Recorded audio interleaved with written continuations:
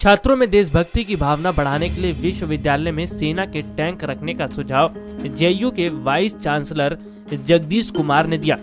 लेकिन इसे अमली जामा पहनाने का श्रेय समाजवादी पार्टी के नेता आज़म खान ने पाया। रामपुर स्थित मौलाना जोहर अली उर्दू विश्वविद्यालय के कैंपस में बुधवार सेना का भेजा हुआ टैंक पहुँच गया। इस यूनिवर्सिटी के संस्थापक और चांसलर सपा विधायक आज़म खान है। रिपोर्ट्स के मुताबिक आज़म खान ने कहा कि सेना ने हमारी यूनिवर्सिटी को टैंक देकर सम्मान बढ़ाया है। टैंक पहुँचा तो छात्रों ने जोशो खरोश से उसका स्वागत किया। आपको बता दें कि सेना का चाबुक टैंक विश्वविद्यालय के इंजीनियरिंग के छात्रों को प्रशिक्षण देने के लिए आया है। टैंक के पहुँचने पर छात्रों ने आज़म खान जिंदाबाद, जोहर यूनिवर्सिटी जिंदाबाद और भारतीय सेना जिंदाबाद के नारे लगाए।